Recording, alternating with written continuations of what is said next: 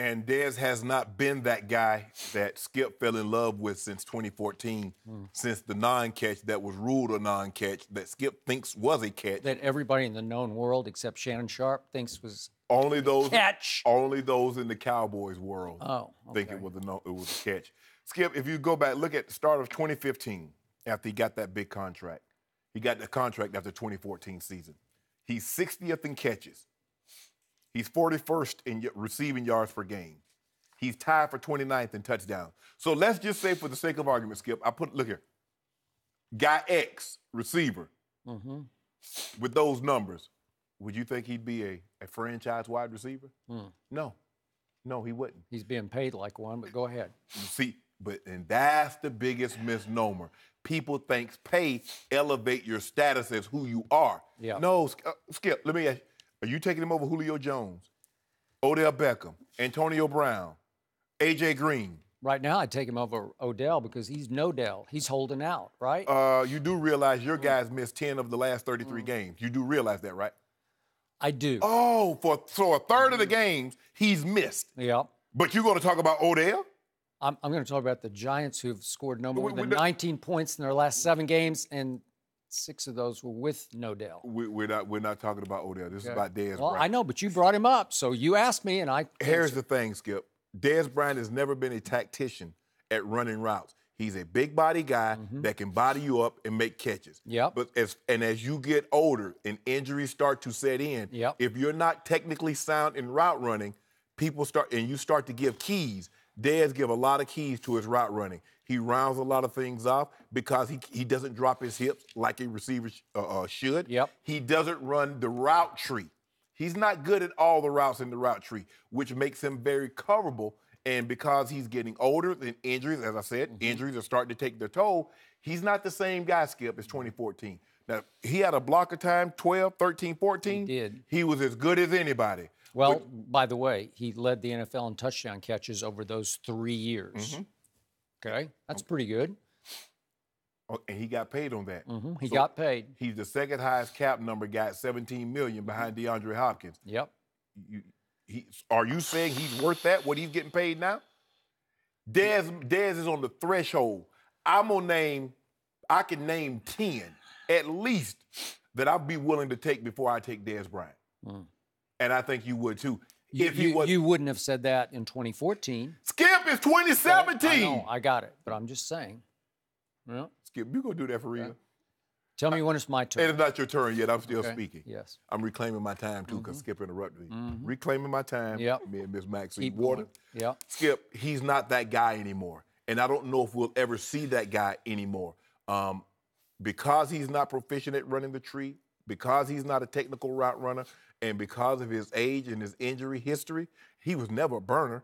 So he can't, it's not like he can fall back. Like Julio, as Julio gets a look, Julio dropping down to run 4 5 from a 4 3 is one thing. Mm-hmm. But dropping down from 4 5 to 4 6, 4 7 is something entirely different. Mm. And especially if you're not a tactician at running routes. Skip, he's, he, in that block of time, as we mentioned, 12, 13, mm-hmm. 14, he was as good as they come. But he's a long way removed from that. And I don't know if we'll ever see it again. Mm, you hope you will never see it again. Skip, why would I It'll hope that? You eat more cowboy Oh, crow. Okay, here's my bottom line. I'm going to give you this. Have a lot of injuries cost Dez a little of his speed and a little of his quickness, his suddenness.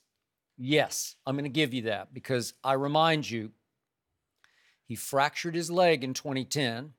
Then he fractured his foot, the dreaded Jones fac- fra- uh, fracture. And I'm not talking about Jerry Jones. I'm talking about whoever Jones it was who got it named after him. He had that in 2015, had surgery, and then, as many do who have had that surgery, he rebroke it and had to have the second surgery on the Jones fracture in 2015. Mm-hmm. Then, early last year, game number three, he basically fractured his kneecap. It wasn't, it was hairline, but it was still, it's a fracture. Right. You know, and it costs you, it takes a little bit away from a guy who, as you point out, at the combine, he ran for five at six feet two inches, 220 pounds. That's that'll work. When I first started watching him as an Oklahoma State cowboy, You want to talk about sudden. You want to talk about electric. You want to talk about punt returner. That's what he was. He was like lethal punt returner at Oklahoma State. Mm-hmm. And I'm going to remind you, his first three years in the NFL, he returned 42 punts for the Dallas Cowboys. That was that guy, mm-hmm. okay? And he also returned um, 16 kickoffs. Wow, that was that guy. So so he could he could fly. Yeah. And he also had this quarterback, may he rest in peace, so to speak, Tony Romo. Mm-hmm. Way to go, Tony. Had a good debut the other day with Jim Nantz on CBS. And I was happy because I just want to make sure he's officially in that booth. In oh, you, booth. you glad yeah, he had a good I was day. happy for him. I was cheering him on the whole day. It was a very successful debut, and I hope he went home and thought, I got to give up this football dream. It's over. But Tony Romo and Dez Bryant had one of those wavelengths that you can't teach, you can't coach, you, you can't make happen. It just happened right away that Tony loved Dez and Dez loved Tony, and they had a connection that transcended the play calling. And Tony got comfortable, as you well know, with when in doubt, just throw it, throw it up for 88. Yes. And 88 will go up and snatch it much of the time. Yes. And that's what happened, and that's why he led the league in touchdowns over that three year period, all the way up through 2014. And the crescendo of that was the play you brought up. It was fourth and two at the Green Bay 32 late in the game, playoff game at Lambeau, 20, of the 2014 season. And when in doubt, what would you do on that play? You know, usually you'd, I don't know, you'd run a slant to Cole Beasley or you'd try to get three yards, right? You got that big offensive line, just run it. Just run do it. something, right? Give it to, to Murray. Okay, but what did Tony Romo do? He shocked me. He, he threw it on a fly pattern to, to 88, right? Mm-hmm. Here it goes on Sam Shields, and he got him one on one. I don't know why they weren't doubling Dez on that play. And he obviously caught it, came down, made a football move, and then tried to slam it on the goal line. And they ruled no. How can you rule that's not a catch? Because it wasn't. Oh, please. So whatever. That would have given them the lead in that game, whether they would have hung on or and not. And Aaron Rodgers would have came right yeah. back down the field and got a touchdown. Yeah, but he had his gimpy calf going on, so maybe he wouldn't have been able to pull it off. I don't think he would have. They had seized momentum in that game. But that was a crescendo. And then in that offseason, guess who was on the cover of Rolling Stone magazine? That guy was. Mm-hmm. He was it, man. I mean, this was a big deal because yeah. he was a new client of Roc Nation. So Dez had sort of taken the NFL by storm that year, right? Mm-hmm. And he got his money. He got paid. He got a whole lot of pay. That was, that was a big deal. Five years, 70 million with 45 million guaranteed. That's a big deal. Big. And I'm not going to be a hypocrite. There's no 2020 hindsight. I was like, go, Jerry, go. Like I, I was afraid he was going to stonewall him and it was going to force some big holdout and a big mess going into 2015. The mess was actually caused by Tony Romo getting hurt and whatever it was the second game of that year, and then it was just a 4 and 12 disaster the rest of the way. But my bottom bottom line here is that even though I give you that these injuries have taken a little bit of that electric Dez away, he still is highly capable of putting up monster numbers in any given game on any given Sunday, and I believe he will fairly regularly through the rest of this year. Janoris Jenkins has had his number. But I'm going to remind you that this got a little bit swept under the carpet. But in that playoff game against Green Bay last year, end of the year, mm-hmm. I thought he had a monster game. Mm-hmm. He caught nine balls for 132 yards and two touchdowns. Doesn't that qualify as living up to that contract? Yeah. Not a big time game. Yeah. And again, they were behind 21 to 3 when it all started. But he caught the, if we could see that, he caught the 40 yard bomb that started the comeback. Here he goes. That'll work.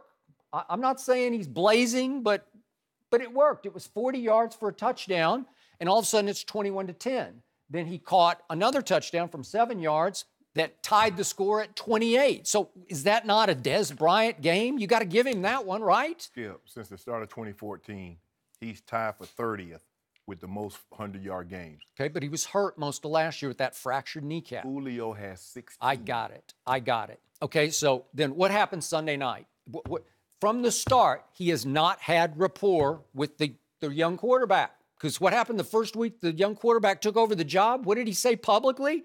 I will throw it to Dez when Dez is open. because Dez was already complaining, and the kid quarterback, fourth rounder out of Mississippi State, says, "You know what? Shut up and show me. Get open, and I'll throw it to you." Right. I love that because it was true because Romo just threw it to him anyway, right? So this kid is saying, I got all these other weapons because I got a bunch of other mm-hmm. weapons. So I'll find the weapon that is open. And if you can demonstrate to me that you can run the proper route and separate, I'll find you.